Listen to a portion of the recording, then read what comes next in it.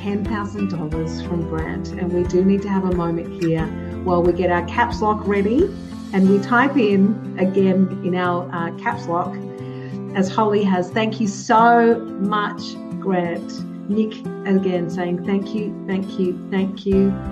Gratitude all around, Grant. Grant, this is up.